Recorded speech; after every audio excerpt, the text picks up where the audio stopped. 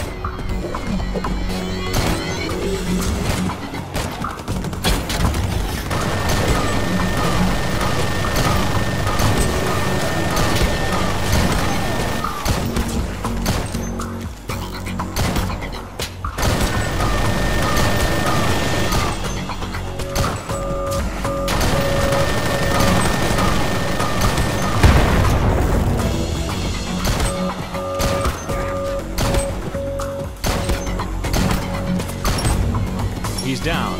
Now execute him, or stick close and guard him while we make the arrest.